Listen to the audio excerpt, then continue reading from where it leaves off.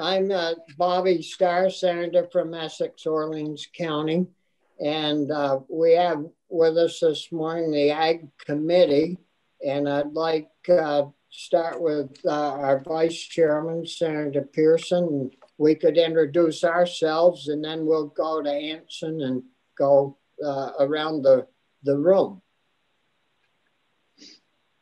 Uh, thank you, Mr. Chair. Chris Pearson Chittenden District. Glad to be back. As this is the first time since I've been in the Senate that I get to be on a committee two sessions in a row. So uh, I'll be, I'm glad to be mostly up to speed. Look forward to working with you. You were that bad before. I thought, see, I liked your work, so you made it twice. Just kidding.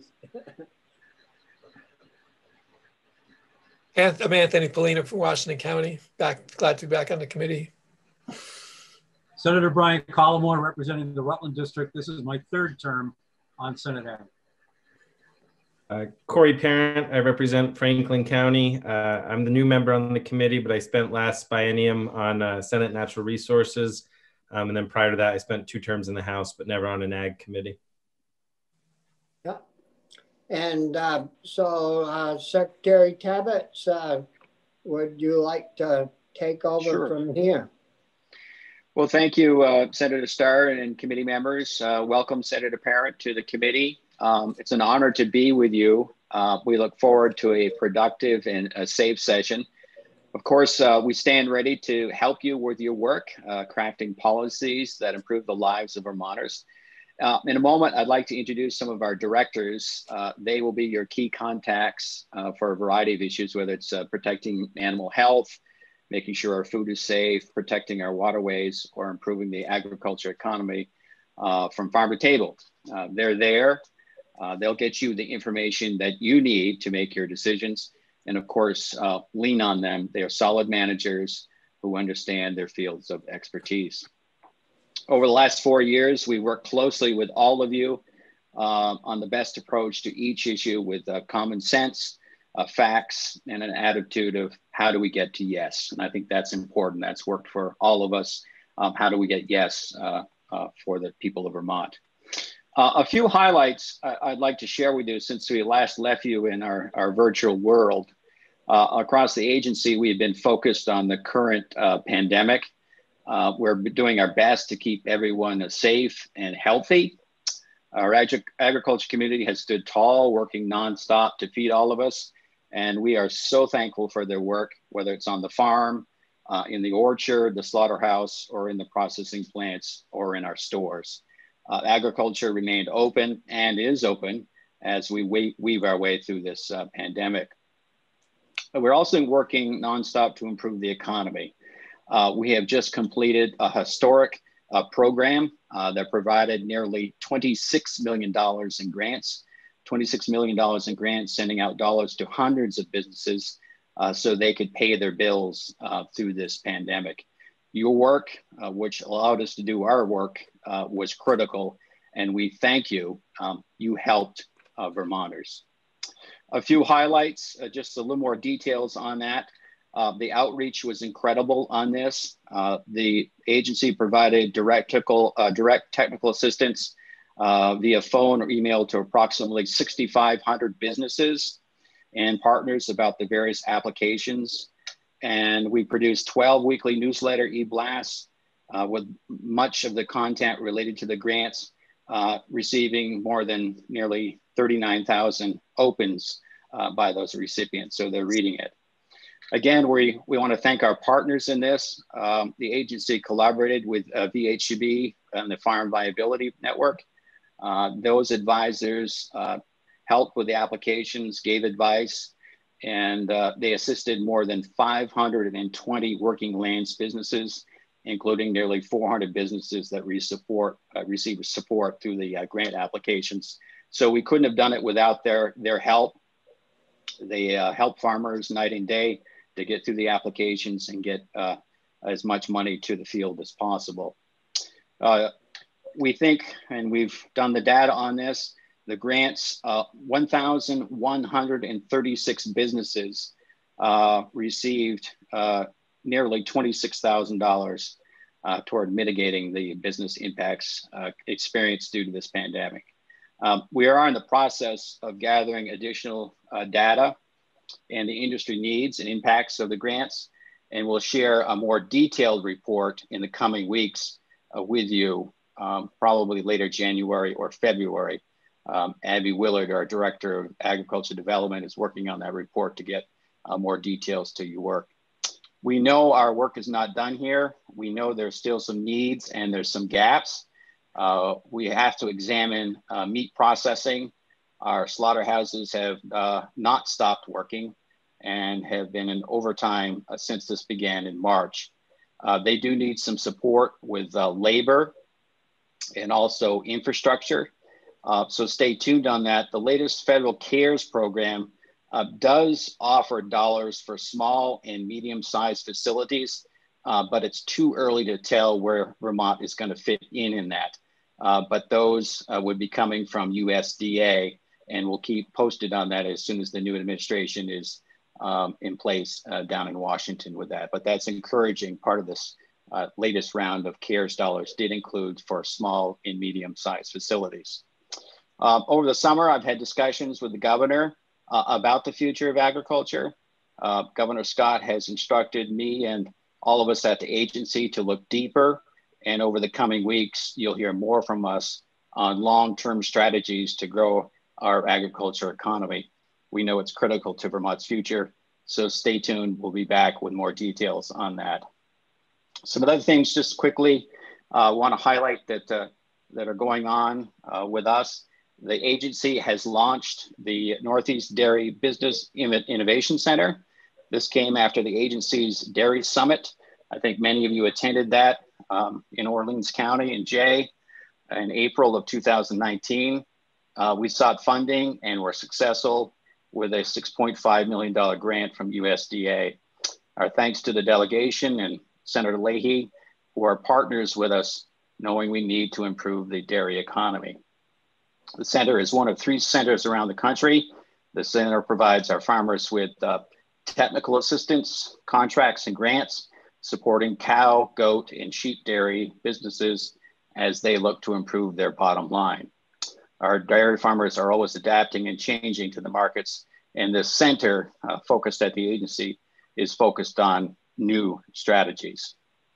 We also look uh, at ways to improve the environment. Our farmers are on the front lines and have invested millions over the last few years on conservation projects that are protecting our new waterways uh, from runoff. Uh, we will launch soon a new program uh, with the help of USDA and RCS. In short, it's called Pay for Performance. The $7 million grant awarded to the agency will give monetary incentives to go above and beyond Vermont's stringent environmental regulations. Uh, we are excited to launch this project this year with Vermont farmers and partners. The Vermont Land Trust is also focused on this strategy, and researchers at UVM are encouraged by this innovative approach. Those are a couple of pockets I just wanted to highlight with you, Senator. Um, we do have some directors on the line. A couple of them would like to uh, be first because they got some other appointments. And if it's okay, I'd like to introduce them. Sure. Uh, sure. Sounds like, sounds like your plate is uh, pretty full. Yeah, um, it's, it's full, but it's all, it's, uh, we're looking to the future and I think we have some real opportunities uh, to look beyond this pandemic to maybe solve some of those problems that we've been trying to solve over the last uh, few years. So we're going to treat it as a we're going to treat it as an opportunity here. Yeah. You know. Um, yeah. I want to turn it over to uh, Carrie. I know Carrie has to get to another appointment, but Carrie's with our farm division. Uh, Carrie, why don't you introduce yourself and just give us a little snapshot of what you're uh, what you're up to? Very good. Uh, good morning, senators welcome back to Montpelier. I see you've got a room full here today. I don't know how we all fit in, in Senate Ag. Well, that's but, one uh, advantage of doing it virtually. We all fit in the same room. yep, no, we would be virtually impossible without it. Um, Carrie Giguere, the director of the Public Health Ag Resource Management Division. Um, most of you are familiar with the programs that I touch, and Senator Perrin, if you would like um, to go over them off offline. We can. And I can give you a deeper dive, but the farm division houses the pesticide, feed, seed, fertilizer, uh, hemp, apiary, nursery, entomology. We do seed potatoes, uh, the phytosanitary certificates, so Christmas trees and other other uh, Vermont live plants or plants that need to be inspected um, can leave the state or country depending on what they need. Um, we do worker protection training. So basically the folks that work on farms where they use pesticides need to be trained. Um, there's ginseng, there's the vector surveillance program that looks for mosquitoes and ticks in partnership with the health department. Also uh, the pesticide monitoring program, it's an environmental surveillance program um, that's checking the surface and groundwater around the state for pesticide contamination. Um, and we also manage uh, ag hazardous waste as well. Um, one of the other topics that uh, we were in your committee last year to talk about was the Pesticides Advisory Council. Um, the legislation that uh, my division was in to talk with you last year was um, was the Pesticide Advisory Council, chlorpyrifos, atrazine, glyphosate, and the uh, ag residuals management or chicken and compost bill. So if any of those are likely to come back, we'll be happy to chat with you when uh, when that time comes. Thank you, Gary. You're welcome. Thank are there you. any are there any questions from the committee members of Carrie, or would you wait until the end? Yeah, go ahead, Anson. All right. Um, Laura DiPietro from our Water Quality Division, our director, is with us. And Laura, want to just give a little uh, high-level outline of what uh, what's happening in water quality. So, Laura. Yeah. Good morning. Everyone, hear me okay? Yeah. Great. All right.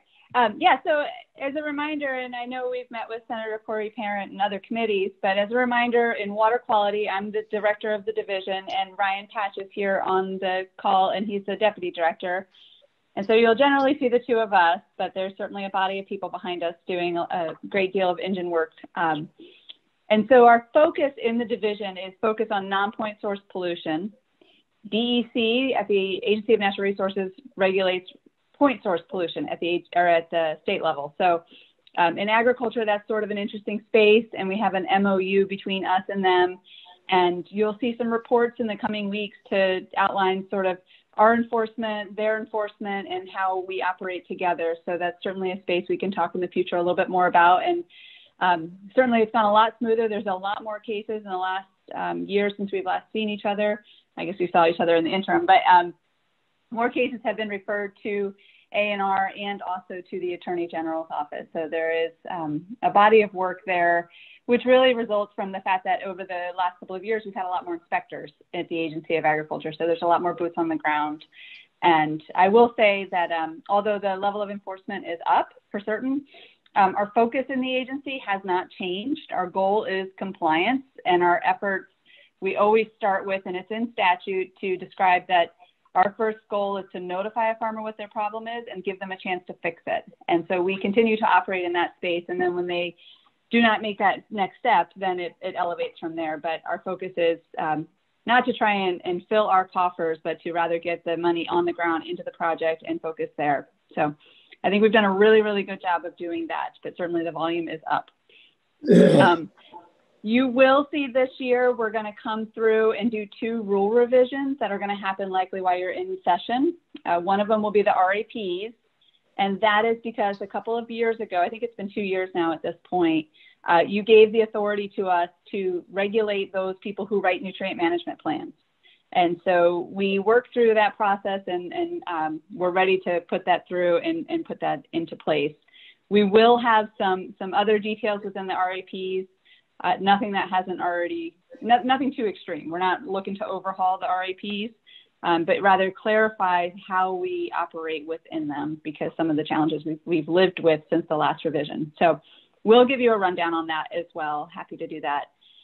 At the same time, because we talk to the same constituents, we're also going to do the BMP rule. So you all probably remember there's the BMP program that helps farms with capital improvements on, you know, it's the traditional, if you need a barnyard improvement or something to that effect, that program has been in place for over 20 years. But it actually has rules and they haven't been revised since 1996. They still say department on them, Department of Agriculture, for instance.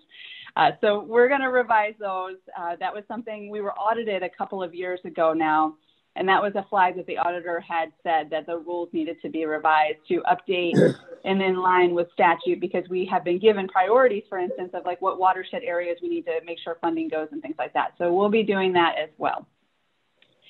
Uh, and then currently we're in the process of hiring five positions. So it's been, we had some, some losses and some movement within our, our division and so we're in the process of hiring three new inspectors and an engineer for the Middlebury area.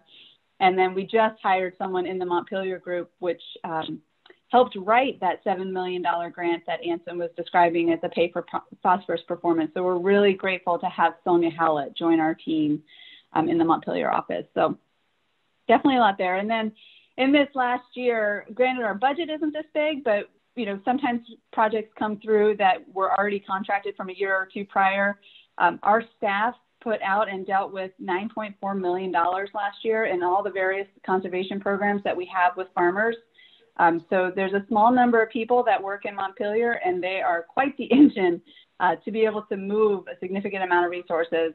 And then the engineering staff is, is really cranking. We've got finally got a good, um, consistent staff on deck that is able to do some of these major construction projects on farms. And what we saw in COVID is that it did not derail the construction and design interest from farmers to these projects. So people have been going and, and it's been great. Um, and as you can imagine, the people who do the contract work were very eager to get going once the release of work was opened up. So things kept moving.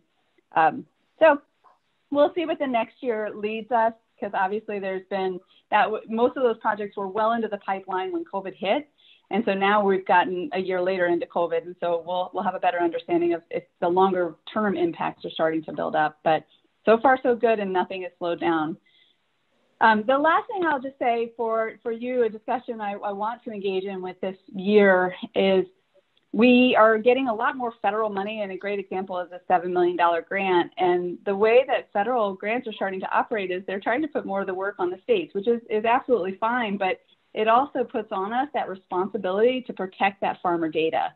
And so, with the data that as a state and a public entity we want to be able to share, and then the data that we're collecting under grants such as this, these privacy and, and records requests lines where we have a liability to be able to manage this data because we cannot release it um, becomes more challenging. And so, uh, you know, a conversation about that is one of the things you'll see is a, a report that is going to come out, the Clean Water Investment Report.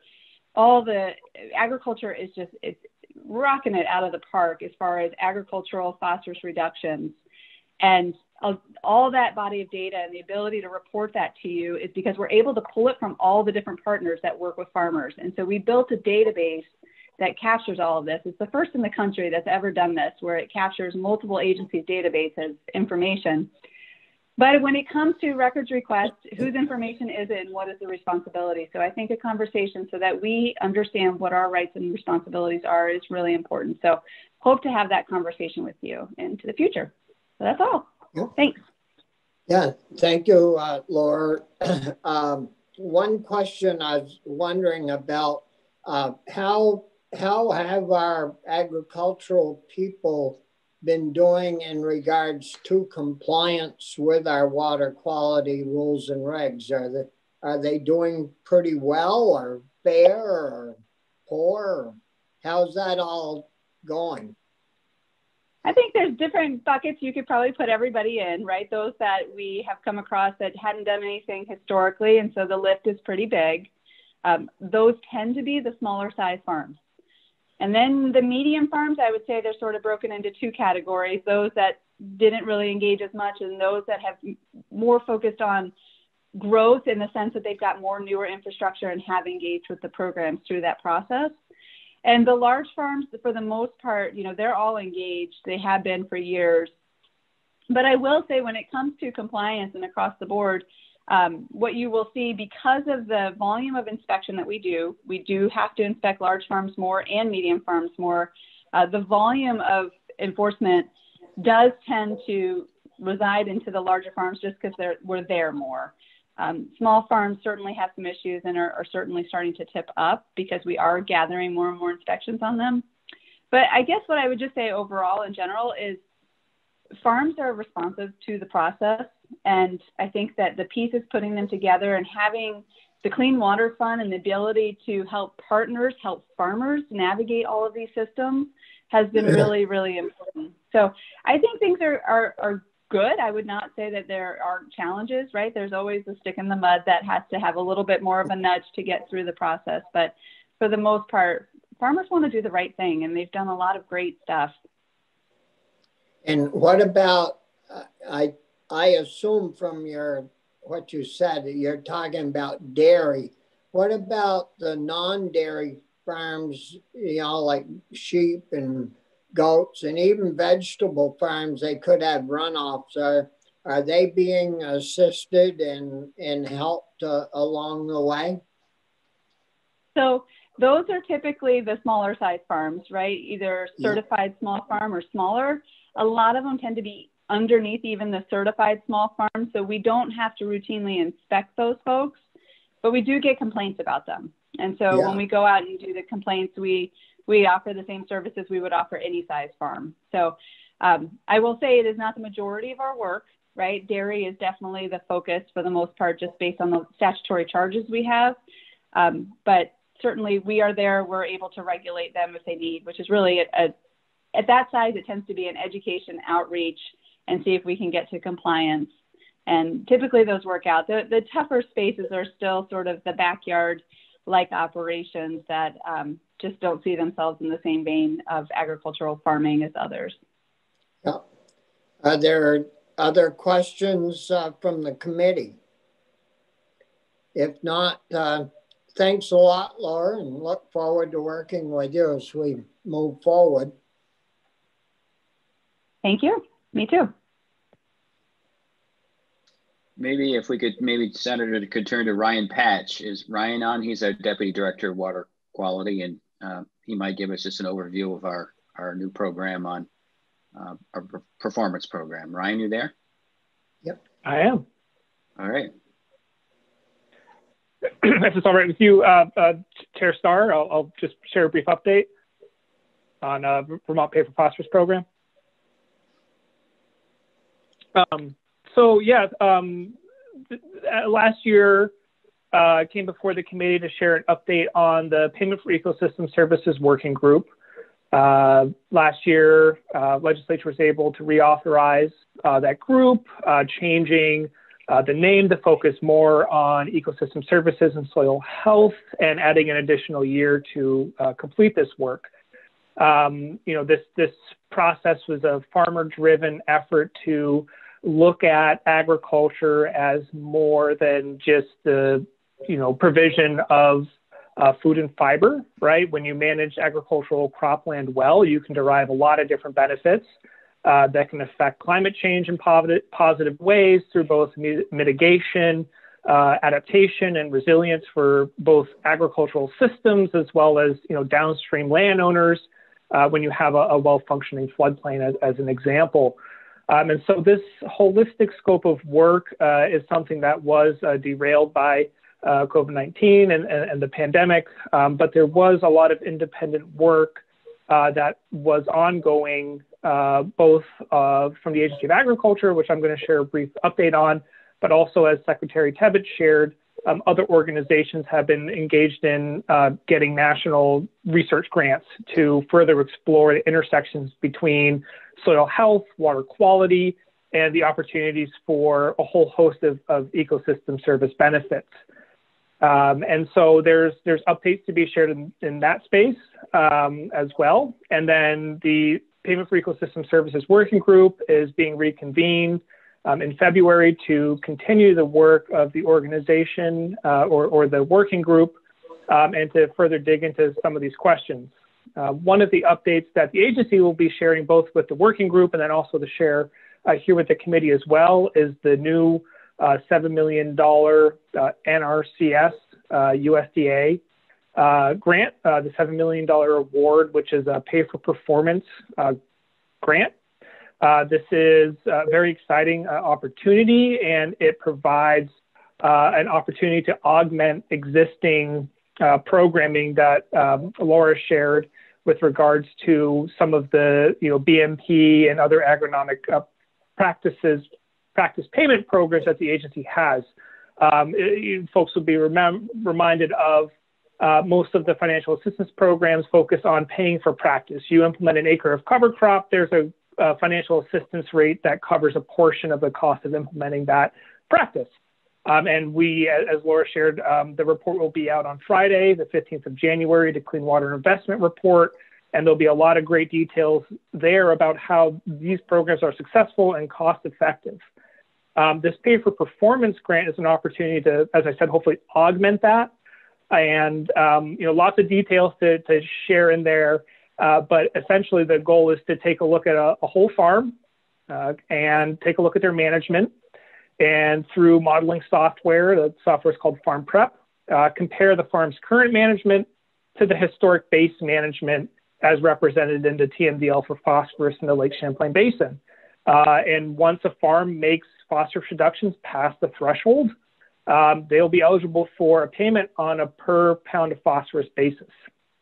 Uh, we've learned through the working group, the Payment for Ecosystem Services Working Group, that some of the programs the agency has offered in the past, um, there's barriers to a farm participating in it. It's a lot of time and effort to even become eligible in some cases. And so, uh, an incentive payment for a farmer just applying for the program, running their farm through the program, and, and understanding where they fall on the spectrum of whether they're exceeding the threshold or they still need to do some work, uh, will have an incentive payment tied to it regardless of the farm's performance. And then a farm can learn what they may need to do to become eligible for a payment uh, through this program.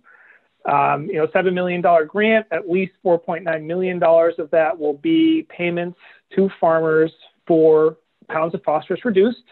Um, and this will help, you know, leverage and augment uh, the, the already, you know, strong uh, efforts farms have been making in making phosphorus reductions, uh, which will be reflected in the Clean Water Investment Report. So, very exciting model. Uh, there's a lot of interest uh, nationally uh, from other states. Uh, Maryland and Ohio have reached out trying to learn more about um, you know what we're doing and, and how what structure uh, we're using to put this in place.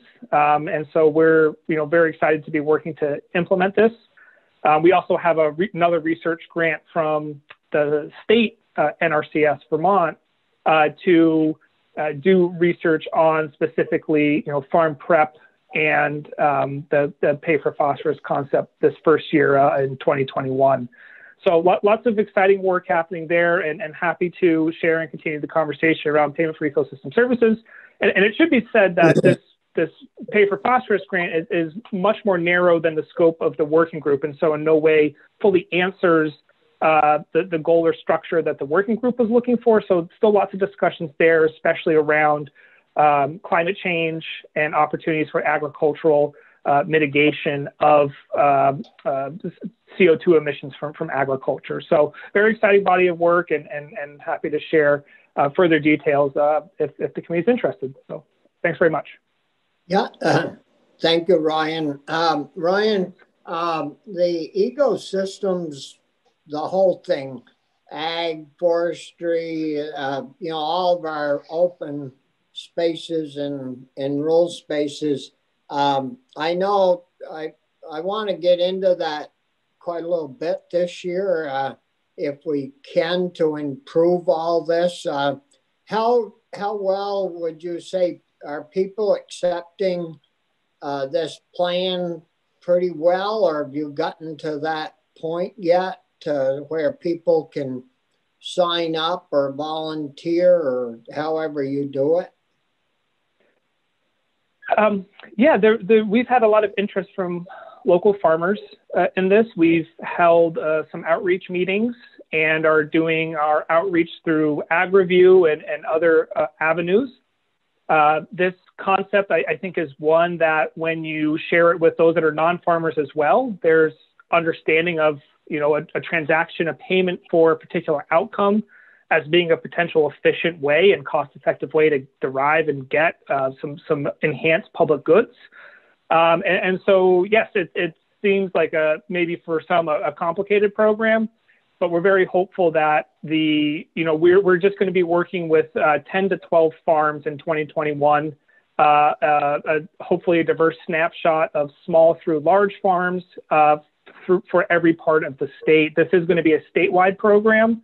So while we are paying for performance and paying for phosphorus, it'll be phosphorus reductions in any watershed. Uh, and so making sure that um, you know we, we have outreach statewide is, is one of our goals uh, right now.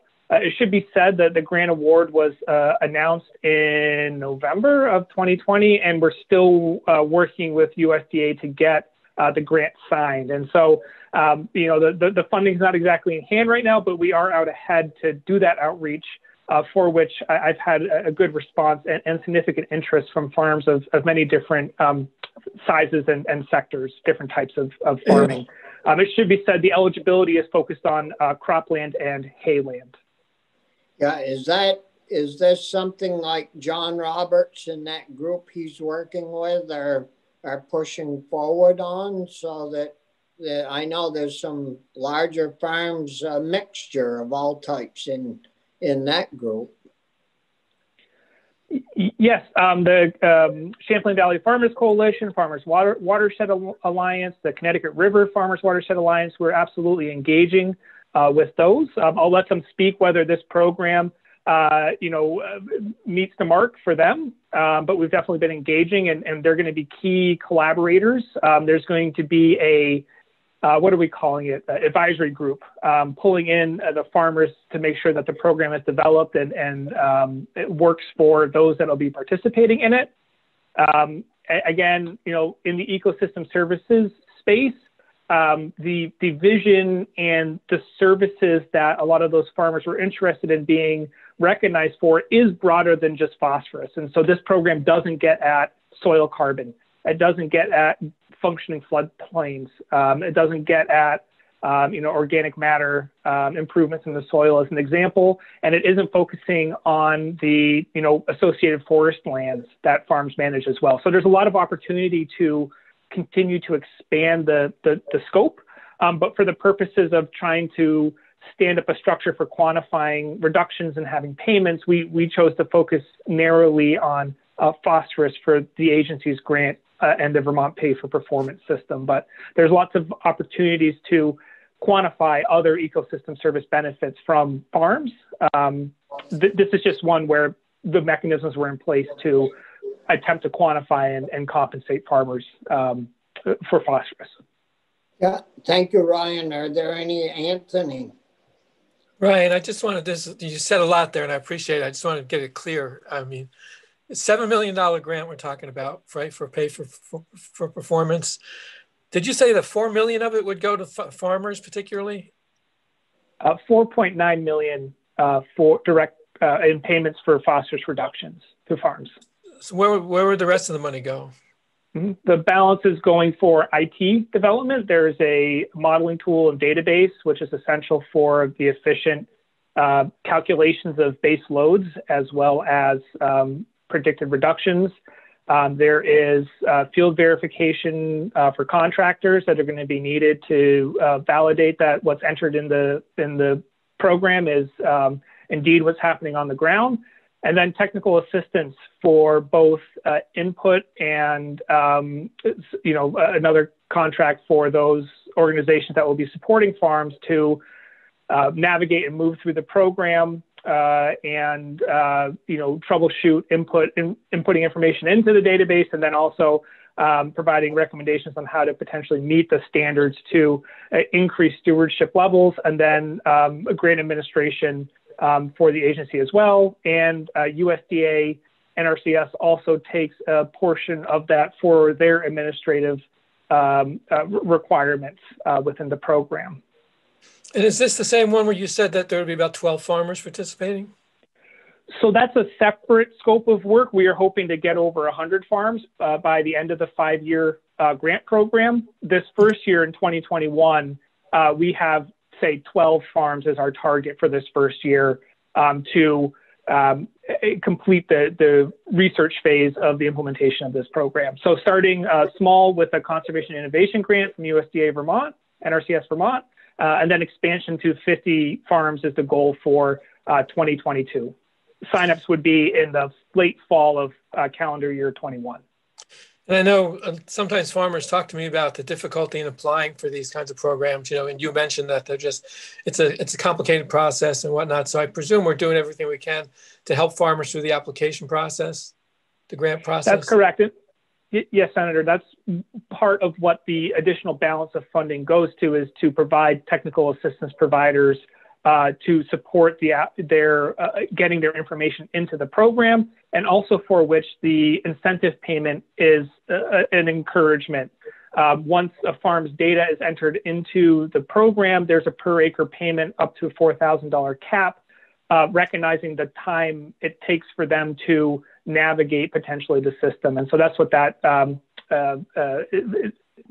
data entry payment uh, uh, incentive is, is attempting to address is uh, the obstacle to applying and how complicated the program can be. So both providing TA uh, through the program and then also an incentive to the farmer to apply uh, because they could do all this work and not be eligible.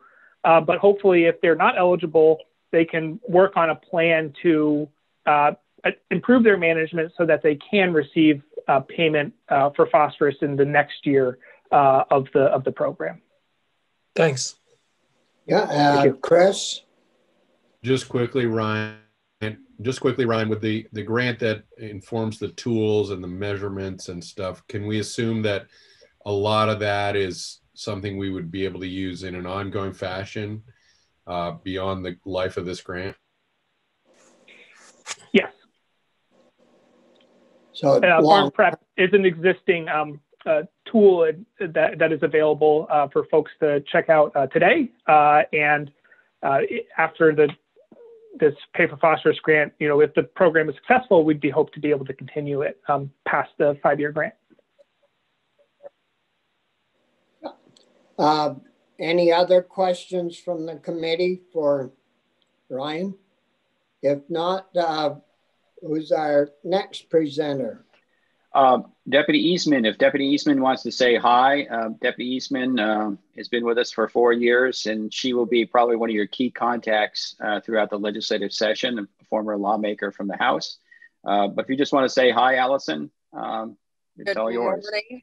Good morning, all, and um, welcome back. Happy to see everybody, and uh, congratulations on your uh, reelection. Uh, we look forward to working with you. And I have to say, uh, listening to Ryan about the payment for ecosystem services, every one of the directors that you hear from, there's so much exciting work going on. And I'm just proud of the amount of money that um, our team was able to um, get out for CRF funds. We couldn't have done it without our technical service providers in the field. Um, I'd, I'd, be remiss if I didn't mention our partnerships with VITA, um, also VHCB, Farm Viability, UVM Extension, and uh, I look at the partnership that we had uh, with our legislators in crafting that legislation. It was a pretty impressive uh, to move out just short of $26 million. So excited to continue the, the great work and uh, thank you for all you do. Welcome back. And um, please don't hesitate to reach out if there's anything we can assist you with. Yeah, thank you. thank you. Um, good to see you again. Um, who's up next? Um, well, I'm going to turn it over to, uh, we're talking about the CARES dollars and uh, uh, the key components of getting that money out the door was the Agriculture Development Division. So I want to turn it over to uh, Abby Willard. Uh, at some point, Abby would probably like to come back to you and, and do a real deep dive on uh, on that experience and uh, what worked and maybe with some of the gaps. But I'm going to turn it over to Abby Willard, uh, Director of the Agriculture uh, Development Division. Abby. Thank you. Good morning. morning Abby. Good morning. How you doing, Senator? Good. Good. Well, it's nice to meet everyone. Senator Parent, um, we haven't met before, so nice to meet you. Welcome to the Senate Ag Committee. Thanks. Nice to meet you too. And and other senators, nice to have you back. Um, I'm happy to talk a little bit about VCAP, and but I maybe I'll start with just giving a little bit of background about the Ag Development Division. So, I'm Abby Willard, Director of the Ag Development Division at the agency. Um, we primarily work on market development, business viability, and provide financial support and business technical assistance to a variety of ag businesses and food and working lands businesses. We are a non regulatory division, as I think most, if not all of you realize, but we play a really important role in support to our regulatory division. So, whether that's helping with marketing or messaging to the industry or uh, connecting with partners. So, our role is really focused on promoting Vermont agriculture and our food and ag businesses to kind of Vermonters, but also as far reaching as international markets and consumers. So we're always leading some sort of um, international trade mission to various countries and places to try to spread the word and popularity of Vermont products. We connect Vermont businesses to different markets. So that may be in state markets, but oftentimes it's really looking at regional and national and even at times international market opportunities for our ag and food businesses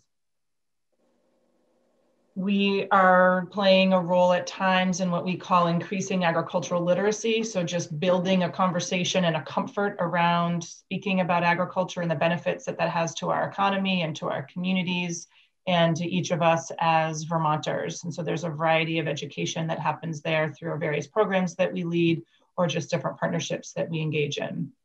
And then, lastly, really exploring um, opportunities for um, elevating an individual sector or moving a particular issue or opportunity forward. So oftentimes those can be the conversations that we have in your virtual or uh, in-person committee room is talking about how do we help this sector or how do we change or move or advance this particular initiative. So we're a small division, we're 15 staff. Um, so we are responsible for a variety of different programs. Um, and our work most recently has been spent in a couple of ways that I thought I would share. So um, we spent a lot of time on VCAP. Uh, there were 33 staff at the Agency of Agriculture, so not all within the Ag Development Division. Um, that was, I would say, primarily led by efforts of Diane Bothfeld and myself over the past 10 months. Um, so 33 staff from within our agency, many of the folks um, at the director and section chief level, so many on this call were instrumental in those 6,500 um, consumer, I mean, excuse me, customer service interactions, and that's $26 million that went out the door. Um, so again, we had five different programs. So there was the dairy program, there was the um, ag and working lands, there was funding for farmers markets, funding for farm to school, and then for agricultural fairs. So um, we can share some more data on that. And if you have questions about that, I think Diane and I and others um, are working on pulling together both an impact report as well as some data um, analysis from the Salesforce platform where all the applications came in. Um, I will also say there's a variety of um, industry trend data that we also have that I could give a few highlights on, which I think is really interesting and something that we probably could do a longer conversation around. Um, but the key highlights being from surveys that we led and have partnered on, um, 44% of businesses experienced some sort of loss due to the pandemic in sales um, two thirds of the ag businesses that again that responded to surveys demonstrated that they had business and market channel changes as a result of the pandemic. Of those businesses that didn't change um, their markets or had more difficulty in making a pivot during the pandemic, alluded to four different things that they lack. One being um, the skills to do something different or to uh, pivot their business the lack of infrastructure to be able to reach a new customer or engage in their production in a different way, um, the lack of labor uh, to make an addition to their business model or a shift in their business, and uh, the financial assistance.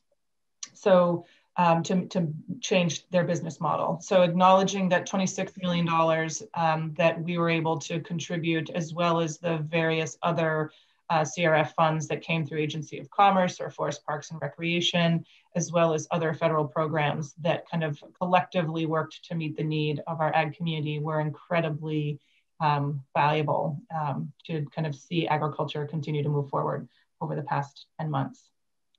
Um, another kind of simultaneous effort that we've been engaged in over the same period of time, which was been slightly um, appropriately timed, I believe, has been uh, the finalization of the new 10-year ag and food system strategic plan. So uh, initiated by the Vermont Sustainable Jobs Fund, but done in partnership with our agency over the past year. And you'll have an opportunity on February 11th uh, to get a, a review and a joint testimony on that plan.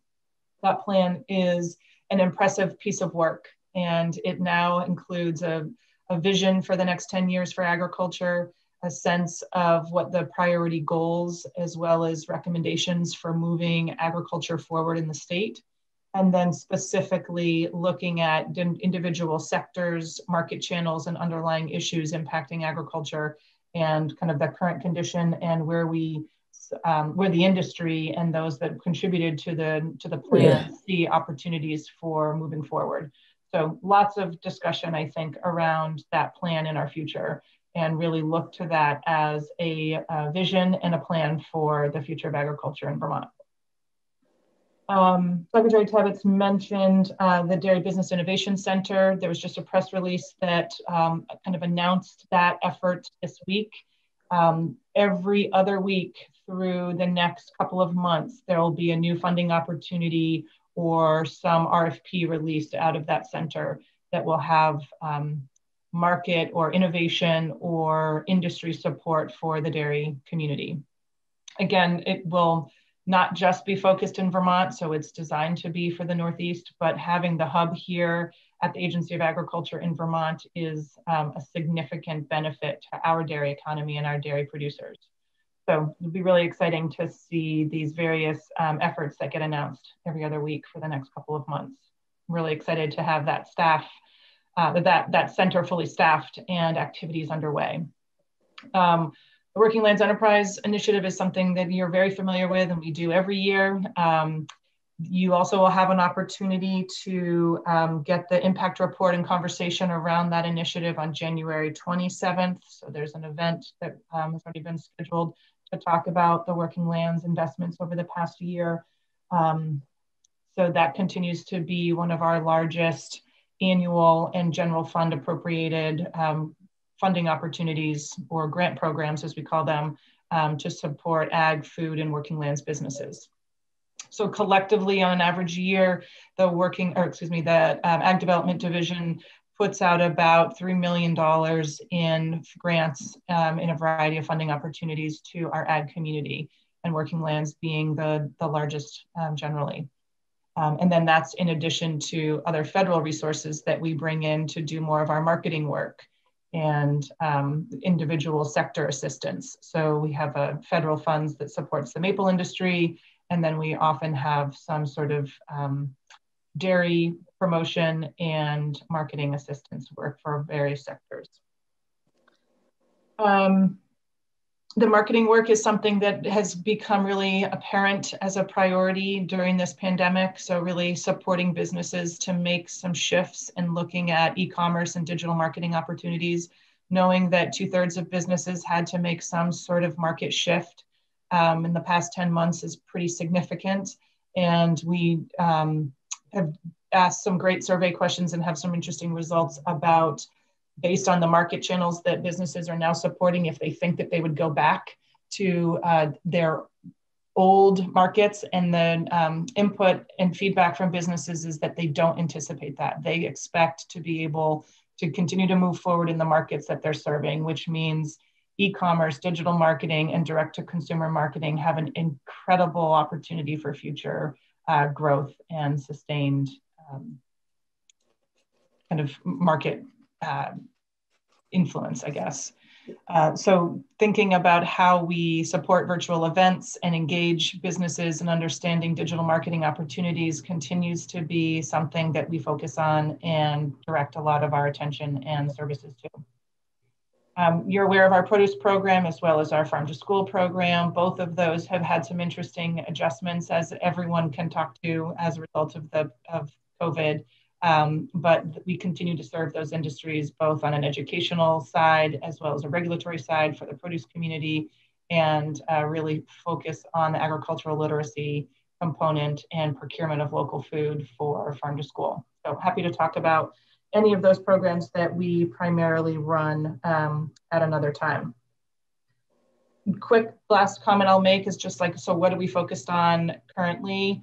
I would say we're focused on the launch of this new ag and food system strategic plan and the messaging around that, and then the implications of having a new future of ag plan for the next 10 years, so through 2030.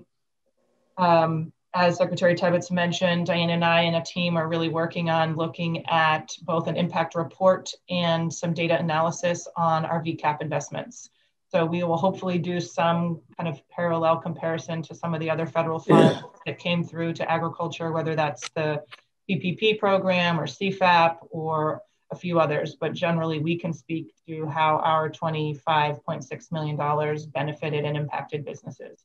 So hopefully by the first week in February, we'll have all that data to be able to share um, and happy to come back.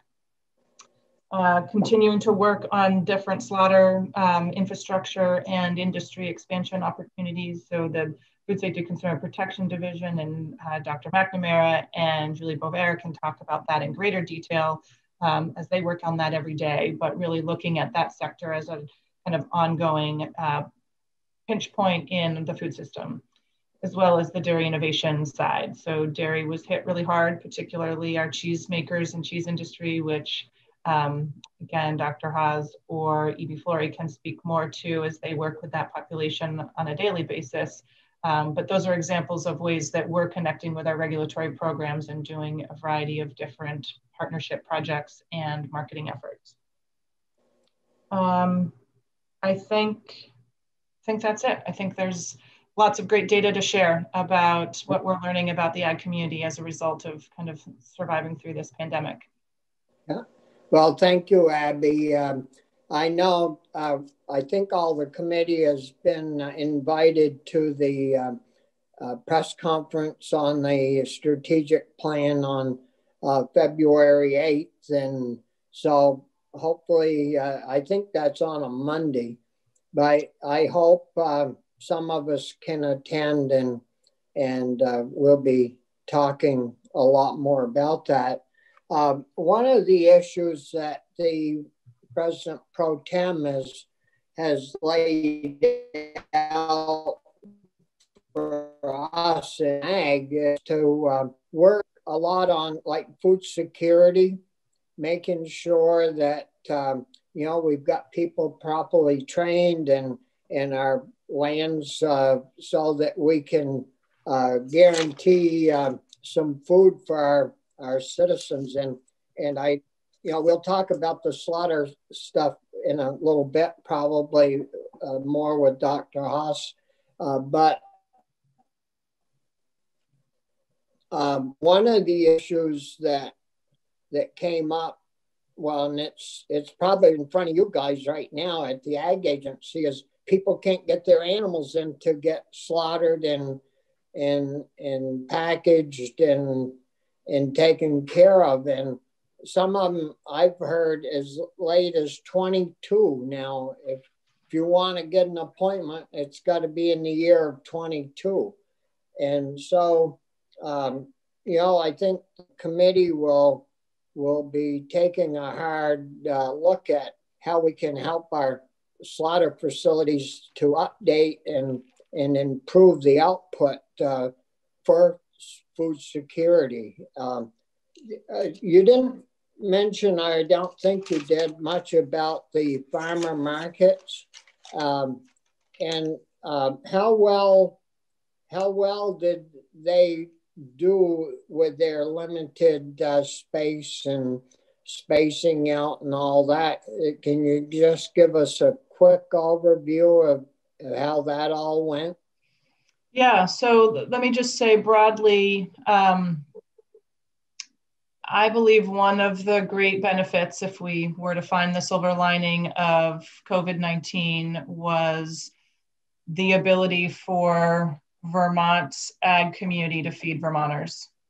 Yeah. And we saw an unbelievable support for, interest in, and commitment to ensuring that neighbors and community members were fed during this pandemic, kind of both response and ongoing recovery efforts. And the number of volunteers and donations and kind of good good citizen kind of common good benefit that that vermonters gave to one another was incredible and the agricultural community continued to sort of step up and be a source of food and resources and security for for our state and I, i'm so grateful for all those businesses even those that demonstrated incredible economic loss and loss of revenue that still made an effort to support um, Vermonters was was pretty special.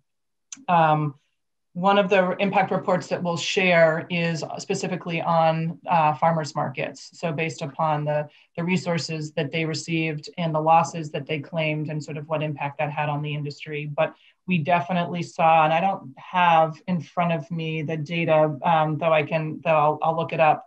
Um, the increase in sales that farmers markets experienced, even with fewer vendors and in certain circumstances, fewer weeks that they were available to, vend. Um, the amount of interest in direct to consumer relationships, so either customers going to the farm or going, uh, participating in a CSA or attending a farmer's market what was incredible. I think we, we heard that CSA participation increased by 200 percent and so farms were sold out and um, at, operating at capacity early on in the in the pandemic. So the timing for that was was interesting and I think helpful in some regards. Um, but I think farmers markets were one of those examples of an industry that wasn't deemed essential, and they were really frustrated by that. They wanted to be considered yeah. a grocery store, but they continued to provide food, and they were really accommodating of the COVID and public health limitations. They they maintained the 12 foot distancing. They wore masks and had sanitizers and put out extra tables to be able to ensure safe um, commerce in those outdoor markets. And as a result, consumers continued to come to markets and develop relationships with those farmers, either to be picked up at the farm or uh, curbside pickup at markets. So I think they were incredibly resilient and um, committed to continuing to serve people. The Montpelier Farmers Market still meeting outdoors. Thank you. Yeah, and many markets and numerous markets have made that commitment Good. to still do outdoor market. Right.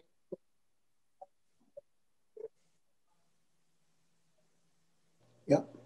Any other questions from committee members? Thank you, Abby uh, Anson. Yes, um, one of our uh, one of our support systems is the lab in Randolph uh, Vale, and they support every division uh, in the agency. Um, also, they support uh, everything from water quality to dairy to entomology, uh, and they have a partnership with the DEC as well. So I want to introduce uh, Dr. Rebecca Harvey. Uh, she gave us a little overview of what's happening at the lab. The lab has, you know, stayed open in person um, all the agency workers have been there throughout the pandemic, and it's on the campus of VTC. So if uh, Rebecca is available, I'm going to turn it over to Rebecca. Sure. Yeah. Thanks, Anson, and thanks for the invite to join you all today. Um, it's my first time meeting many of you, if not all of you. Um, as Anson said, I'm the director of the Vermont Agriculture and Environmental Laboratory down here in Randolph Center. Um, and I think it, it's, it's appropriate to say that we really provide a lot of um, support for all of the other programs that you've heard about so far today. So um, we run the gamut of agricultural tests and environmental tests here. Um, we provide testing to support the milk and dairy industry here in, in Vermont um, to make sure products are of high quality and are safe. We provide testing to support the animal health industry, which you'll hear more about with Dr. Haas. Um, we also provide guarantee analyses to um, the farm division, so all of their feed, seed, fertilizer testing, pesticide analysis. Uh, we support the meat industry in providing testing to ensure that meat is of high quality. Um, and we also support the agency's industrial hemp testing program. Um, in addition to that, we provide environmental testing, mostly for the Department of Environmental Conservation. So anything related to phosphorus, many of those samples, if not all of them, are coming through our laboratory. Um, we also provide air quality testing to support EPA programs that are run through DEC. Um, and new to this year, we're also providing bacteria testing for private and public wells. So um, drinking water testing as well. Um, so really our, our role here is to support the agency and the Agency of Natural Resources in their monitoring efforts. And how are you how, how many people do you have at the lab? Yeah, so we actually have 14 analysts here in the biology and chemistry labs. Um, we've been here full time throughout the pandemic. We actually we do have two vacancies right now that we're working to fill, but in the whole facility, we also have laboratories that are staffed by um, the weights and measures lab, which um, Kristen Haas directs. Um, also, the, the DEC has a couple of laboratory spaces here. So um, a lot of the other laboratories, much of their work is considered field-based. So on a, on a, you know, during peace times when, when there is no pandemic, there might be upwards of 20 to 30 people here on any given day. Um, but in terms of uh, analysts, highly skilled trained analysts who are working for our agency and our laboratory, um, we have a full-time staff of 14 plus two seasonal temps that we generally hire in um, that allow us to process tens of thousands of environmental samples each summer. Yep. well, that must have made quite a Randolph Center's employment uh, with having a lab there, and the college is. Does the college do some some work with you folks? Do the students ever get to get any training within the lab or any of that? Yeah, we certainly had um, a significant amount of turnover when we relocated down here. Um, and one reason why I was excited to take on the role as director is, is because I have a connection with academia. I came from the field of academia before coming to the state. And I'm really excited to see kind of how those partnerships flesh out with us and VTC. Unfortunately, um, be, because it's only been about two years since we've been here, half of which we've been plagued with this pandemic we haven't had many opportunities. We have a great working uh, relationship with VTC, with their biology chair, their science chair. Um, we have hired seasonal temps from VTC, which has been fantastic. I really hope that one of them, who we've worked with in the past, applies to one of our vacancies because she was she was great. Um, so it's kind of yet to be seen. Um, Dr. Haas might speak more to the animal pathology lab that we have here in the facility but VTC has a animal vet program, a vet tech program, and we're hoping that we might be able to establish some sort of partnership where they might be able to use our pathology lab for some of their necropsy experiments. So a lot of ideas kind of floating around, but we haven't had the opportunity to really yep. solidify anything at this point. Yeah. Well, more time will probably uh, work better for the results, yes. Uh, any questions from the committee members? If not, uh, thank you very much, Rebecca. Thank you. Uh, Anson? Uh, sure. We've got um, um, Dr. Haas who's with us. You, you know Dr. Haas, in charge of our uh, consumer division, also our state veterinarian, and um, she can give us a little update on some of the things that are happening in, in her world. Dr. Haas? Yeah. Sure, thank you, Anson. Um, I am going to attempt to share my screen. Uh, I have a couple of slides I would love to share with you. And um, while I'm doing that here, uh, I also just want to uh, take the opportunity. Um, we had Dr. Kathy McNamara on the line. She had to jump off for a, a conflicting appointment. And um, but still uh, on the line with us is our meat inspection program uh, section chief, uh, Julie Bover. And so if there are questions that come up about meat inspection that require a slightly more deep dive than what I'm able to do, then uh, Julie Julie can cover. And I think you'll be, I know you'll be hearing from EB2 about uh, with a little bit deeper dive into, into dairy. Um, but in the meantime, let me just try one more time here. And if my screen share plan doesn't work, then I'm just gonna wing it without Let's see, does that show up for you folks? Um, slide on the screen? Yep, okay, perfect. Yep. Then we're gonna go with that. Uh, just for a, an oversight of the Food Safety and Consumer Protection Division, for most of you, this will be um, a, a, rehash or a review. Uh, and for Senator Parent, um, welcome to the committee and look forward to working with you as well as all the members. And this will give you an overview of um, what the Food, Safe, Food Safety and Consumer Protection Division comprises. So um, as Anson said, my name is Kristen Haas. I'm the director for the division and uh, the state veterinarian for the agency. And the Food Safety and Consumer Protection Division is a 38 person uh, division. So it, it, it is a large one. And we are focused on, in a nutshell, the two buckets that you see here ensuring safe food. Um, so there was discussion already, I know, on food security. That's something that we're very invested in.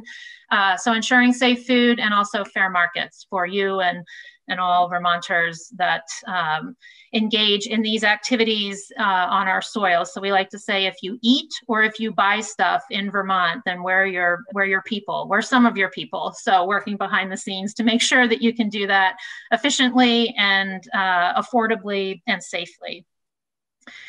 I think that um, one thing that is worth noting, one of the things worth noting about our division is that it's a it's a varied group of employees. Um, it comprises scientists, technical experts, specialists, and generalists.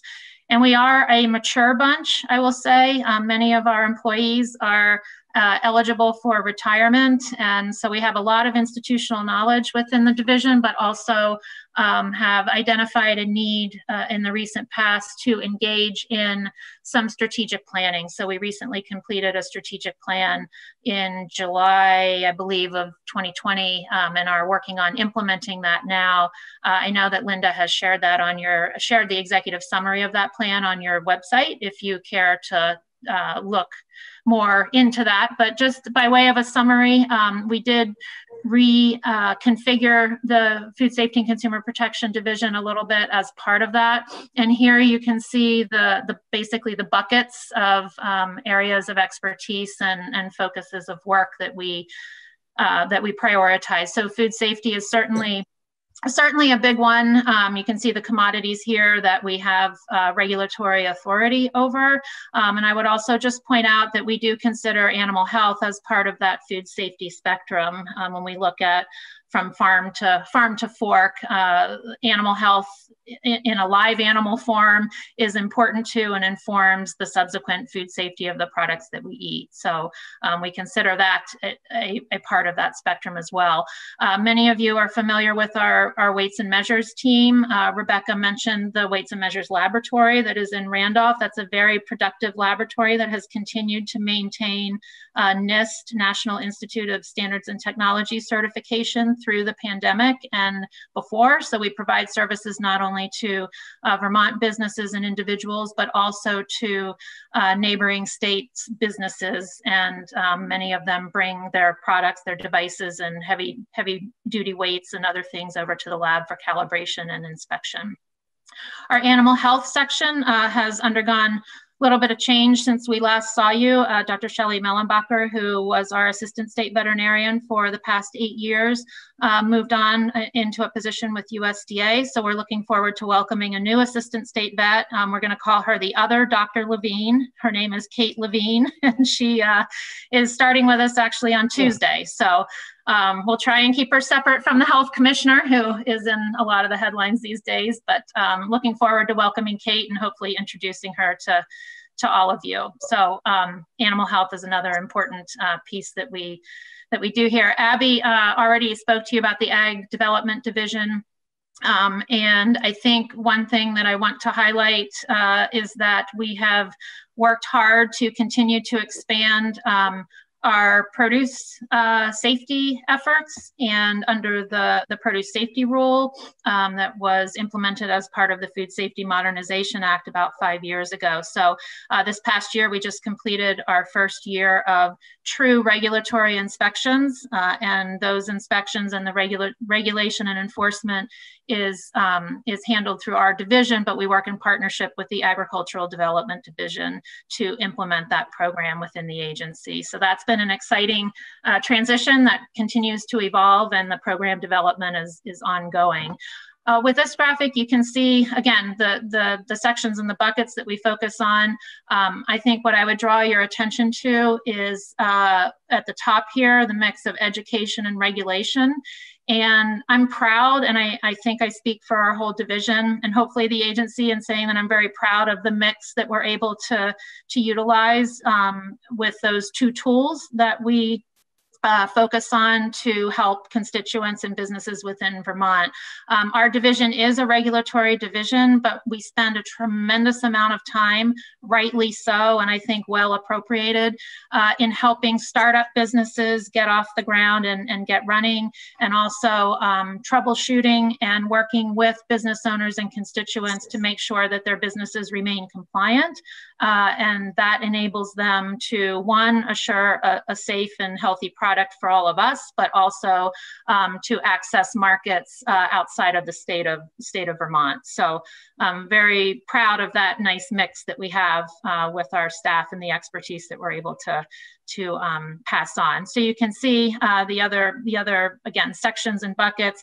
Um, one of the restructuring pieces that we did with our division over the past year is we plucked uh, the ag products work out of the, the now weights and measures section and kind of segregated those two things since they are so different.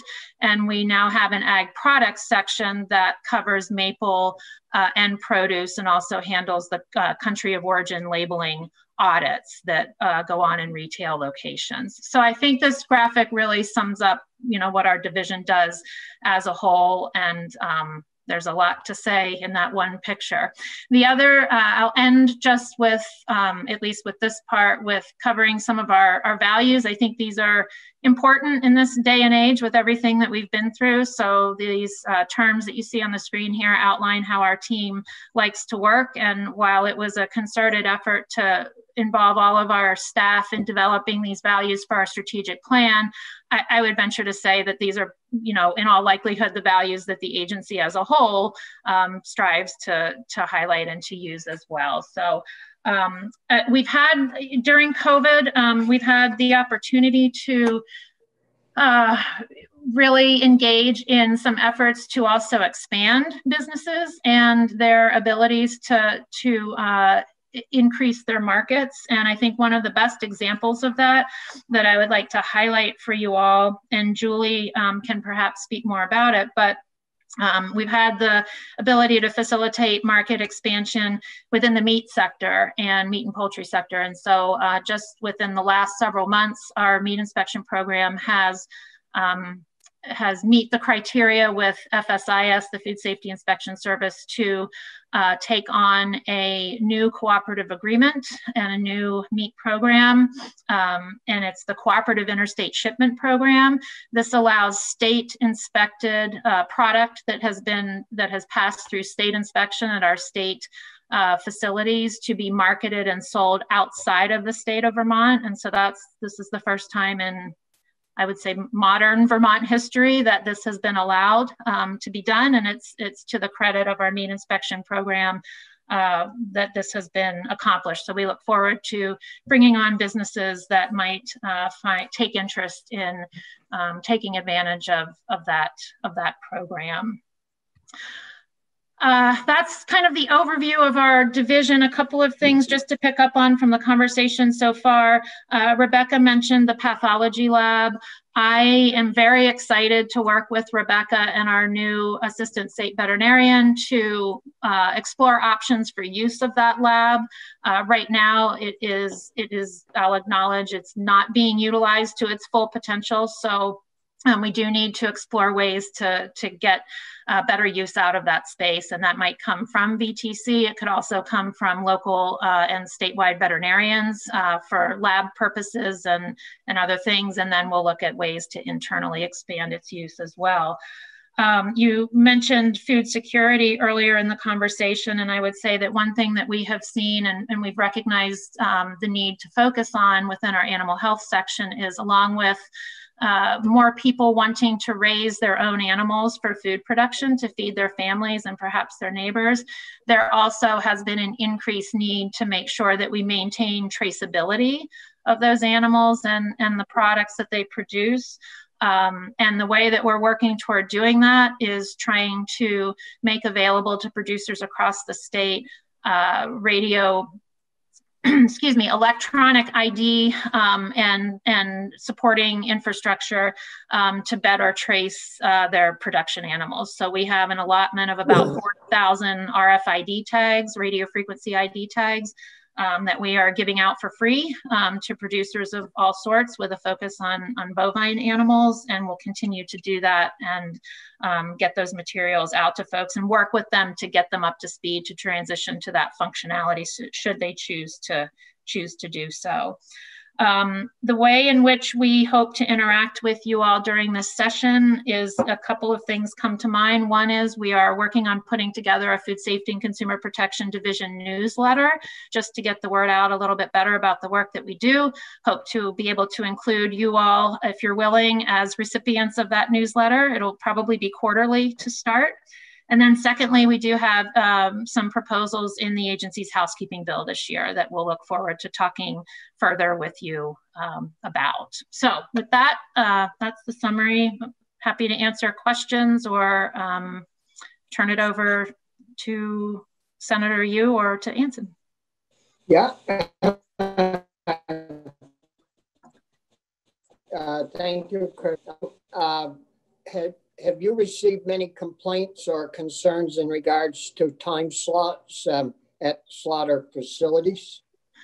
We we do hear concerns about that. Yes, that is a that's a valid um, that's a a valid concern. I think um, is Julie. Yeah, Julie is still on. Julie, not to put you on the spot, but I but I will because you're at the receiving end of a lot of those conversations. So, Julie, could you comment on the specifics with that? Sure. Hi, everybody. This is Julie Bovier. This is my first time um, with you all, so it's nice to meet you and um, looking forward to a good year. Yeah, so it, there is a problem with um, slaughter slots, um, and it still will become a problem until we can get more people out there who want to open up some slaughter facilities. Um, currently, we are working with two. Uh, just two right now, but but getting them on board has been a little hard. One is brand new, starting from scratch, trying to get building supplies, electrician, plumbers. It's it's kind of you know set them back a little bit because of COVID, trying just getting all the supplies together. Um, the other one, however, is um, a plant that um, was um, shut down for a while. This is back out in Wilmington, Vermont. Um, so another outfit came over and they actually leased it, then wound up buying it. And so they are able to get it up and running. They're currently under a custom exempt, but I just heard from them a couple of weeks ago and they're moving forward to USDA inspection. So we're hoping that's going to come through pretty quickly. So that'll be a, a, you know, a good facility to, you know, for people down the southern part of Vermont to have another choice to be able to go. Um, but I think for now, we're going to continue to hear this until our slaughter facilities get up and running or, or they can get caught up a bit more. one of the things that we're coming across is they can keep up with the slaughter, but they can't keep up with the processing. So we've got coolers full of carcasses mm-hmm. and just trying to keep up with that part of it. Um, we're trying to work with other sectors, um, a lot of our um, possible custom exempt facilities, trying to get them on board under inspection. Um, but again, it's timing. It's it's getting them to be able to sit down and write a HACCP plan, a food safety um, plan that we can go and approve uh, approving their facility is is can be done fairly quickly because we already have because they're already under custom exempt.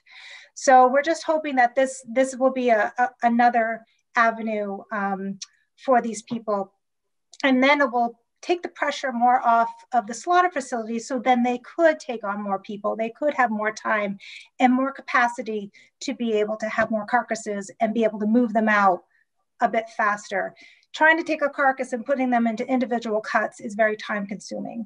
So and that right now is what most people want. Um, we've seen a huge increase in people who have freezers trying to sell meat locally and having a pre-pack license they need to have those those carcasses cut down to individual cuts to be able to sell.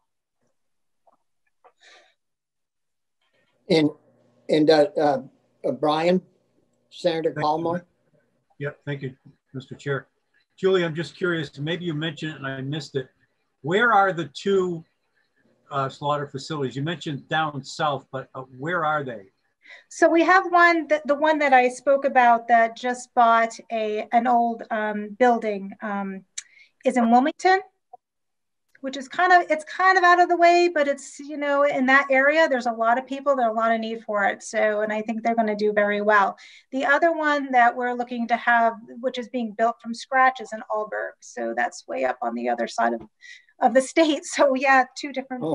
two different areas. Yeah, we've had a lot of people ask about um, starting up slaughterhouses. Um, we've given them the education, the regulatory assistance, but it's they're just not there yet. Um, hoping maybe this spring they'll come back to us. Maybe they'll have something a little bit more concrete that they can work with. Thank you. And what about um, uh, does VTC do they still train meat uh, uh, processing? Do they have a training program at VTC? I know Abby and I spoke about this. We had a few meetings with um, the people at VTC and the Department of Labor. So I know, Abby, if you want to jump in on that. I believe that was your sister that was. Yeah, so yeah, if I may, Senator, um, VTC does still have the desire and on occasion has run a uh, meat cutting program. The meat cutter apprenticeship program at VTC um, has not run, at least since the pandemic and, and prior to, due to a lack of a slaughter facility that they could host the training at. So, um, and that's generally just due to slaughter facilities being so busy that they haven't had the ability to designate their space for a training opportunity. So, one of the um, CRF requests that we had proposed was to purchase for Vermont Tech to purchase equipment to be able to on campus yeah. create a um, training facility with all the meat processing and cutting equipment. Um, that was not supported, but we're hopeful that um, through other federal mechanisms we can support and help them kind of achieve such a goal.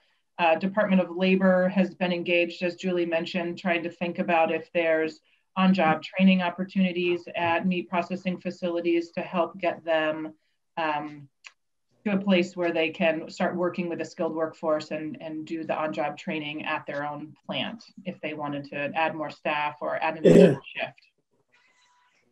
So it's still a need. We, I think we know two things. We know there's a yeah, I could see where, need. Sorry. I could see where a private slaughter facility, though, that would, if they were trying to get out meat in a hurry, you know, as good fast as they can. I could see where a training program would slow that process down a great deal, and it would it would be much better if we could have the equipment at VTC, bring the animal, you know, the slaughtered animals in and and train them. So then when they do get to the slaughter facility, they'd be ready to go to work uh, for cutting and processing. But that is, um, I guess, something that we need to think about and work on. Yeah. Uh, thank you. Are there any other questions from the committee in regards to uh, Kristen's uh, testimony? If not, uh, we'll move on. I think we're getting um, towards the end, Senator. We got a couple more to go. Uh, E.B. Flory from our dairy division. E.B. want to say hi, and uh, E.B. was instrumental in um, getting CARES dollars out to our processors, but also our dairy farmers. So maybe uh, E.B. if you want to just say hello. Yeah. So thank you, Anson, and, and, nice to see everyone again, and, and nice to meet you, Senator Parent. Um, I'm Mimi Flory. I'm the Dairy Section Chief at the Vermont Agency of Ag, and I oversee the dairy regulations both for our, our grade A farms, processors, um, and then also our raw milk um, producers. So anything regulation wise um, and maintaining the federal pasteurized milk ordinance standards so that our Vermont milk and our dairy products are, are eligible to be sold in state and out of state and internationally um, is what uh, my team is tasked with. And we work with with all sorts of processors and farms of all shapes and sizes, some of them with just three to six animals that have success meeting the regulatory standards and, and have viable businesses up to um, extremely large uh, processors and very, very large dairy farms. Um, through the CARES Act funding, we did have a handful of dairy farmers decide that they wanted to bottle some of their own milk. Um, and each one of these individuals has actually done really well. Um, so it's exciting to see that the, the CARES Act funding went to um, helping them diversify their, their family businesses and um, two of the farms now are already adding additional pasteurizers and working with our team um, because the demand is, is high from the community. So that's been one positive thing. Um, despite us continuing um, to lose dairy farms of different shapes and sizes, um, we do have people dedicated trying to pivot and find ways to keep the family business going. Um, and we're working with them as much as possible to help guide them and, and and give them all the technical assistance we can so they can hopefully avoid mishaps and, and costly mistakes. Yeah. um, uh, EB, um, have you been keeping up on on the issue um, of DFA being allowed to um, keep the Franklin Mass plant and and that whole situation to make sure that our farmers are getting a fair shake uh, in the milk pricing business because they're gonna. I don't know if it's it's within your um, within your division, but yeah, the way I look at that, um, uh, DFA is going to control about eighty percent of our milk sales in the future by being allowed to keep that Franklin plant in in uh, Massachusetts. Uh, is there anything on that that you've been tracking? Um, I've mainly Senator Starr just been keeping up with um, the news briefs that are coming out from it, and my understanding is that the Justice Department had told them they needed to sell that plant, and if there wasn't a buyer of that plant, they could keep it, and that's what's played out. Um, so we don't have an active role as the agency um, to dictate this in, in, bankruptcy court and the purchases they're making. Um, so this is really the Justice Department deciding whether or not them having that plant would make them a, a monopoly or not. So I understand your concerns, but as far as what I've read, um, DFA is going to proceed through with with keeping that plant. Well, I don't mind them keeping it or running it, but I want to make sure that our, our we ship a tremendous amount of milk into that dairy plant from mm-hmm. up here in my district and probably from all over Vermont. And I want to make sure that our farmers are, are going to be treated well if, you know, independent producers used to send to that plant. And I want to make sure that independent farmers either can ship, continue to ship there, or that they have to be paid a fair price for their milk and and their membership into DFA. But there's nobody if nobody's watching that, it's not good. Yeah, but anyway. we, we only have three independent farms um, in Vermont, and they do all ship to that plant. Um, all of the rest of our farms are, are members of cooperatives or their own, they are their own processor in a farmstead. So um, it's just these three farms. We don't really have control over what their negotiations are in price between um, DFA, and I've not been privy to any of the negotiations or, or dollar amounts. So Anson you, or Steve, do you have anything you want to add to that? No, so, we've been monitoring. We, we, you're, you're right, Senator. That is a critical plant for the for the Northeast, um, and um, and the Justice Department has determined where it's going to land. And we're, we're monitoring that situation. We're also uh, watching closely with these independents, uh, making sure that um, um, you know they have their market and a secure market. And we we realize that um, it's important that we, we stay on top of it. And we've had uh, discussions um, both um, with the farmers and also within the agency about making sure that uh, we protect that market for those independents out there that are, um, you know, got, uh, you know, are, are, a little bit at risk here. So we're trying to protect them.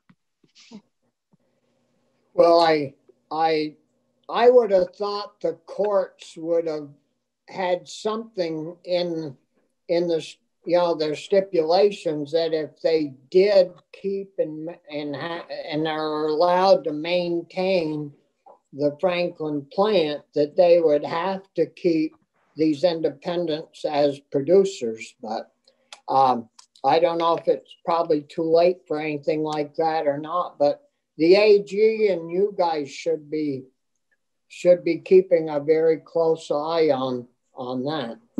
Um, if if there are no other questions, uh, we can, and we'll deal with this um, hopefully in the near future because it's getting to a critical point. Um, who's up next, Dance? I think, uh, uh, I think Senator Pollina. Yeah, I just have a quick question oh. that I think I should know the answer to, but I want to be reminded, Abby, of how much money we spent or sent to the dairy industry. How many, how much CARES funds went to the dairy industry? Ultimately, Diane, wasn't it uh, just to dairy farmers alone, wasn't it 18, close to eighteen dairy, million? Dairy farmers and dairy processors, just over 18 million. Yeah. So less than we had thought we would. Yes, with the caps that were in with the caps that were in place, that's but the but the demand as we pull all this information together for our reporting for you early in February, uh, we'll show you what the demand was versus what went out, and the demand was well over 50 million. Um, oh, all we sent out was 18 million. I see. Thanks. That might be a good time to transition to Diane. Many of you know Diane. Um, she's got great historical knowledge, knowledge at the agency, um, also across the, the industry uh, Vermont with uh, agriculture. So, Diane, why don't you say hi? Diane will be your key point when we get into uh, budget discussions as well. But uh, Diane's all yours. Good morning, everybody. Welcome, uh, Senator Parent. Nice to see you. I think we've met before, but um, looking forward to working with you more closely on the Senate Ag Committee. And welcome to all the, welcome back to all the committee members. Yes, um, my role with the agency um, is to uh, oversee the things that impact the whole agency, as well as a couple of land use regulatory programs, uh, budget, human resources, all the projects that come out of the governor's office that impact the whole agency are, are my responsibility. Um, and the budget, uh, we're working to get that together and look forward to providing that information to you all uh, once the governor does his uh, speech, which we're all uh, looking forward to, to hearing that. So uh, we're pulling the budget together. Um, also, the two land use programs, we're very excited to um, hear that the, the governor is supportive of um, a little change, some changes to Act 250, but one that involves agriculture, looking at the accessory on-farm businesses. Um, the agency Agency of Agriculture has a role in Act 250 with the primary agricultural soils and, and uh, defining the impact and mitigating for that impact on primary ag soils. But also, we know that there has been an increase in um, agricultural businesses taking on something else on the farm. Um, it may be, you know, milk to cheese, cider, or apples to pie, those kind of things. But it's really starting to expand into um, you know, bringing people to the farm, the see it Wedding. made, weddings, um, events, cross country skiing, all those kind of things where people are coming to the farm.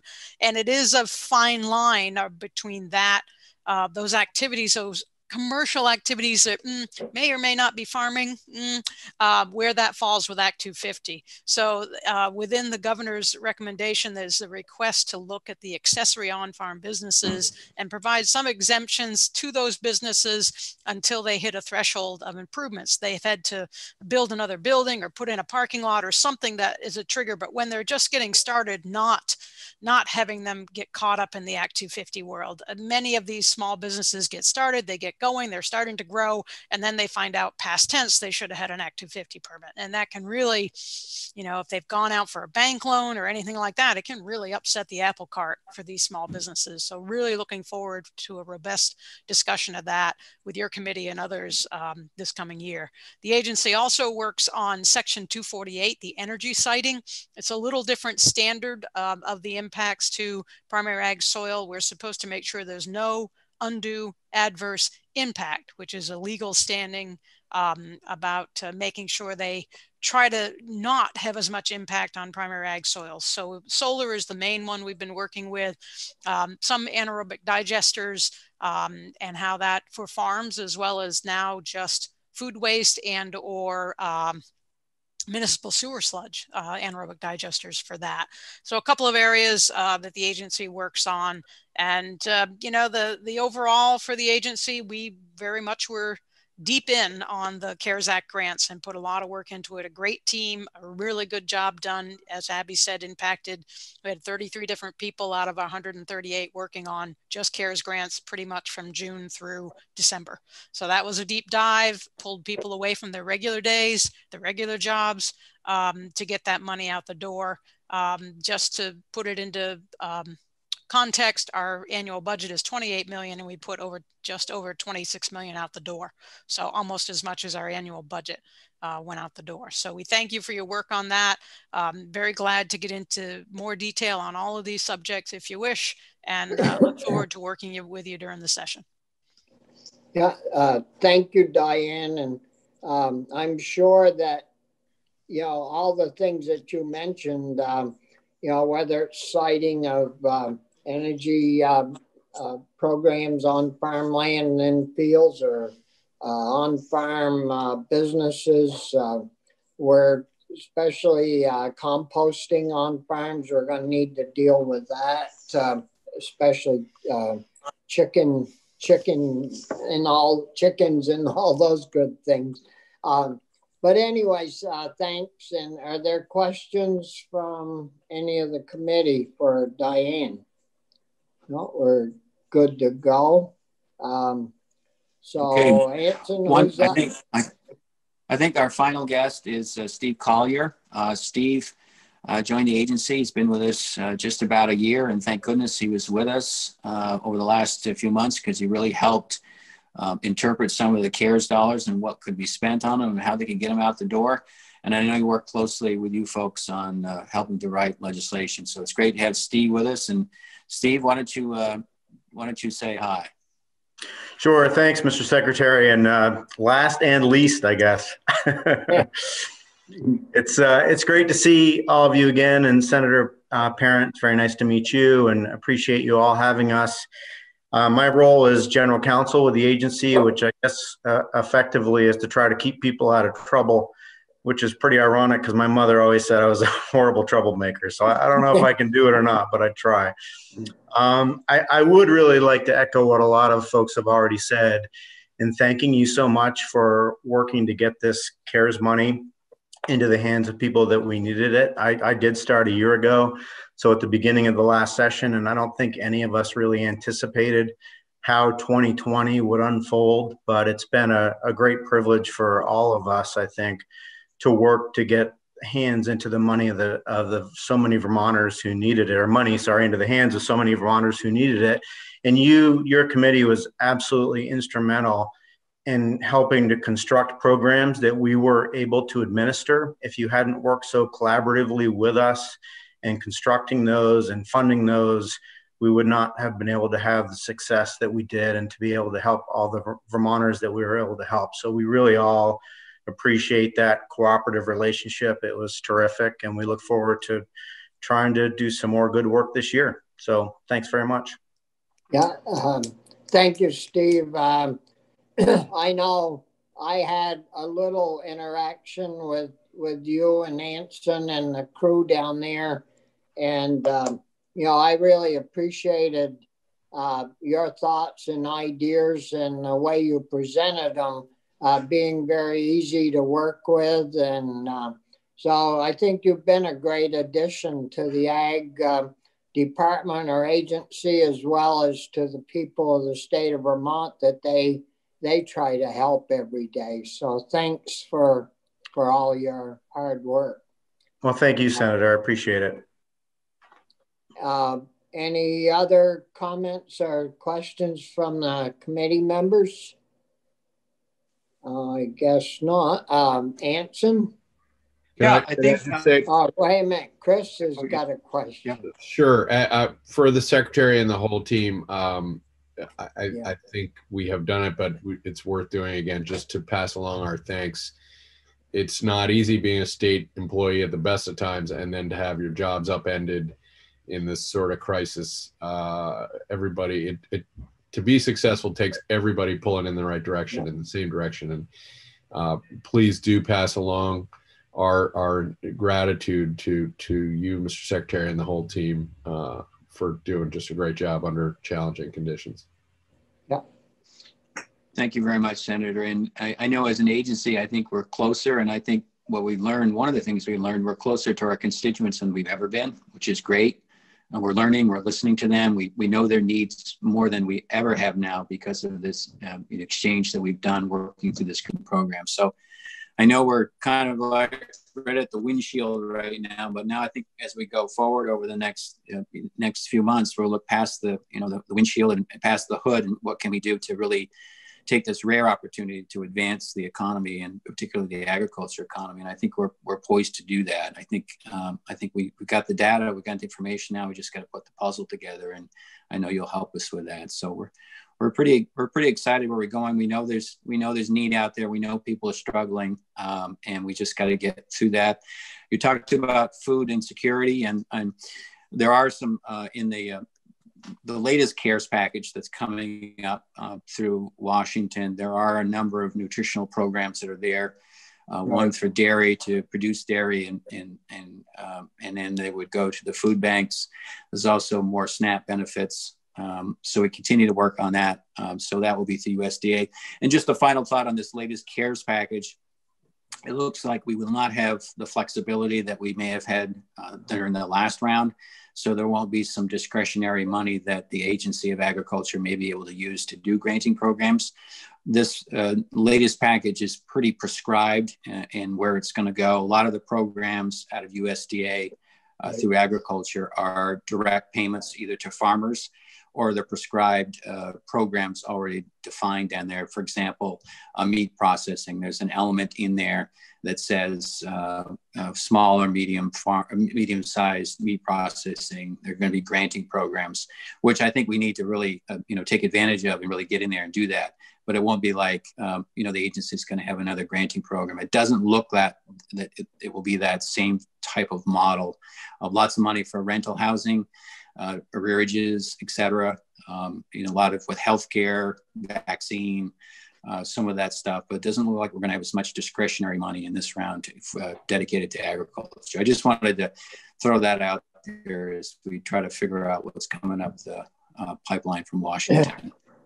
Yeah, um, thank, thank you, Anson. And a question uh, I have, uh, and I've read that about the feds are going to manage their own, you know, through um, through FSA and their own agencies do they have uh, technical people that help uh, our farmers or farmers in rural areas? Do they have technical people to help them through that application process, uh, or is that something that that we should think about gearing up a little bit for? Yeah, it's hard. Yeah, yeah. Go ahead, Diane. Um, the USDA offices, yes. The Farm Service Agency, every county has, or that's not true anymore. Uh, the majority of counties in Vermont have um, have uh, offices, and you know, from my family members who took part in the CFAP program, they were on the phone and could provide their information by phone um, and and get the get their um, applications in. So they were very accommodating, very helpful at um, USDA Farm Service Agency. They do have people doing that work. Um, you know, having those conversations with farmers and and helping them with those applications. So yes, they do. Yeah. Well, they good. we did the agency certainly did help get information out with USDA to to say Yeah. come in, call the office, come to the office. They were open. You could go there um, if if need be. Yeah. Uh, Abby, you had comment? Yeah, thank you, Senator. Um, I agreed with what Diane shared. Um, it does seem from the little bit that we know and have heard from SBA is that most of the ag support will be through PPP um, funding. They did make some changes to those dollars that will hopefully make it more accessible for um, smaller ag businesses, but it's still based upon payroll uh, reduction and loss. So I think we have a lot to learn. SBA also has staff that can direct and support businesses that have questions. But I will say, you know, we worked very closely with Farm Viability during our Vermont COVID 19 Ag Assistance Program and the um, forget what they call their program, their rapid response work that they did um, was incredibly valuable. And Anson gave the statistic of about 400 businesses that applied for and received our VCAP grants, received support from Farm Viability. And in our conversation with them, they will not be able to continue that level of work without additional funding. So I just, I'm not advocating for that, but just being clear that they are not in a position. I think there is, there was technical assistance that our agency provided and that that rapid response program provided that um, may look different in this next round of stimulus funds, given the where the dollars are focused. yeah, and and I don't I don't know if it's accurate or not, but I heard uh, that uh, Washington's already talking about putting together a, another uh, COVID response uh, bill, and you know that that one may be totally different than than this one that we're you know that we just got. So, anyways, uh, I think uh, you know with with Senator Leahy in charge of appropriations uh, in the future, possibly, and um, you know, there's a good opportunity that something good will come out of come out of Washington that will help our our small businesses. And you know the PPP program was fine for the big guys to help their payrolls and all that but little farm small farms a lot of times live right out of the checkbook and they don't have a payroll account that they can they can lean on or go back to to try to get help from. So anyways um, are there any other comments from uh, the committee?